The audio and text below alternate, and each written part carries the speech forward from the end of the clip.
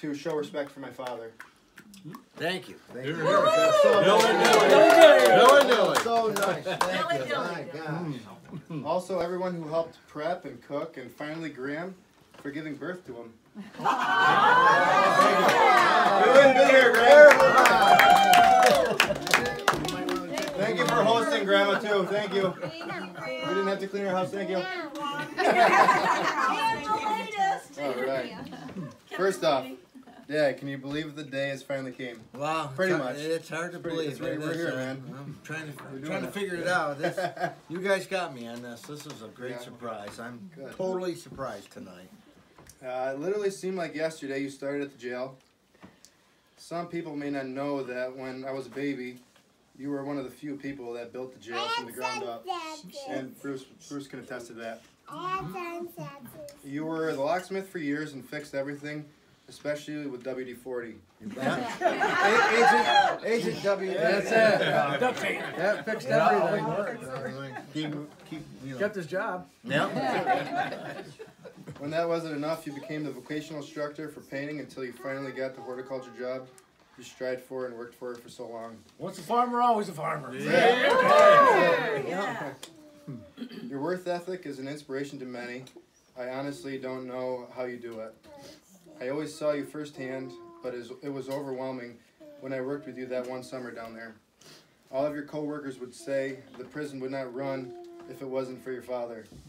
And even the warden having you as his right hand man really said a lot. It seemed like you never took a sick day for yourself, and that was more impressive. And what was more impressive is that you never let the job get to you. You worked with so many great people who became lifelong friends. You have made many memories and have had many great stories along the way.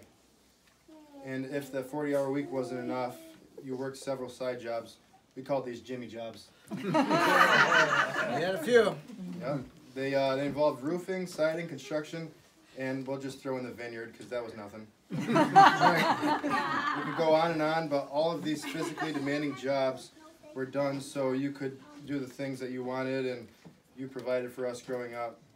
You showed us the meaning of what it was to believe in ourselves and that anything was possible with hard work.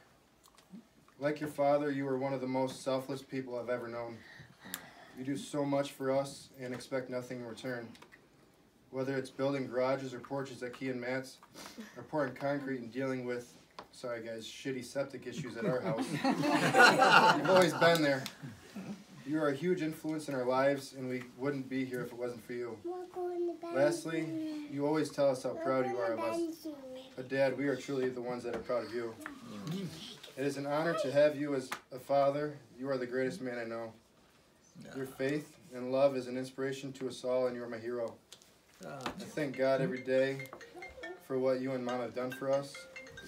If anyone deserves to relax and retire, it's you. The fact is, we know you will continue to work like a jackass. but from all of us, we hope that you don't work too hard and enjoy your retirement. Hey. I had, I, I was gonna have a drink. You guys have a drink? Drink your glasses. The Big Jim. Congratulations. Thank you. Thank you for 30 plus years of service. And we love you, man. Actually, I have to have a side note there. Thank you. I have a side Piece of note. cake, yes.